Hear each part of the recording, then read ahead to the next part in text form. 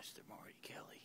So, we're having a little fun with you, fuckface. That's what we're doing since you beat me fucking, what, 10 out of 11 football games? This is what you get. So, I got your nice little water hose right here. Now, let's go. I think you're really going to enjoy this. So, since that rat bastard's been bugging you for the past, oh, I don't know, being a pester, we set a little decoy for you. There he is. Look at him. So when you fucking wake up in the morning, I don't know, 9.30, 10 o'clock, well, you open up that garage door and you'll look you'll be like, what the fuck? And you'll see this guy. Right there. That guy. Look at him. Look at him, Marty, tearing up your fucking yard. But you got a good friend like me.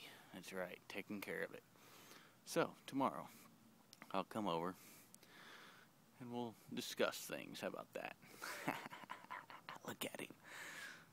That's right. One shot, buddy, one kill. That's all it takes. So, you enjoy this decoy in the morning and we'll talk about it. Sleep tight, buddy.